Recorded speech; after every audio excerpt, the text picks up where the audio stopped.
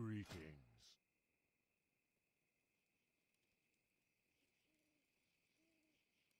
Walk with the Earth